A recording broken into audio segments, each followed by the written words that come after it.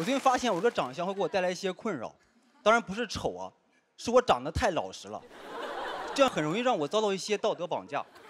就比如说，当有人问到我的择偶标准的时候，我发现我没法回答我喜欢一个性感辣妹。大家会觉得啊，他不是应该喜欢善良的吗？就我这个长相，只要是喜欢一个辣妹的话，我就是个坏人。我现在特就特别羡慕那些天生长得很坏的人，他们只要不骚扰辣妹就是好人。我最近还有一个发现，就是女性越来越好看了。就为什么以前没有发现？可能是因为最近挣到钱了，敢看他们了。看完之后，我就觉得现在女性的平均颜值比男性要高，对不对？当然，这个事儿我有一定的责任，是吧？但是看到徐志胜之后，我觉得他的责任更大。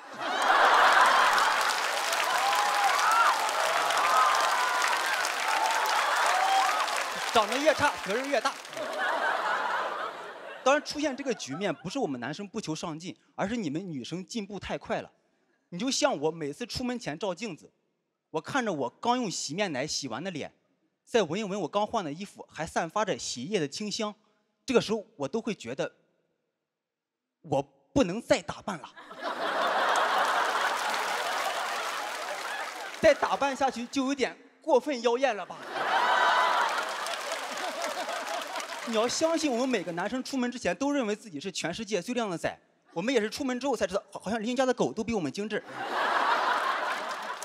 所以每当有人说我不修边幅的时候，我就特别的委屈，因为那已经是我努力精修过的样子了。就那一刻我才明白，就在背后偷偷的努力，看上去毫不费力，是这个意思。我觉得去鬼屋玩一定要男女搭配一块去，因为你跟同性朋友一块去的话，进去之后就会发现，那个房间里面呀，除了恐怖就没有其他的东西了。在里面就只能干害怕，因为在那种环境下，男生的天性就是想要保护女生嘛。比如有一个女生胆子比较小的话，我们站出来一保护她，大家就都不害怕了，对不对？但是我们几个人里面呢，胆子最小的就是吴星辰。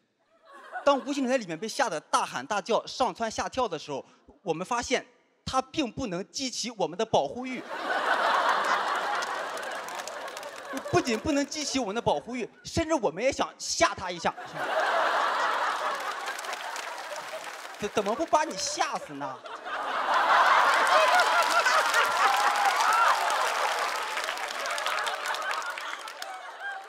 他当时是扎了一头脏辫进去的，进去之后他的脏辫直接被吓开了。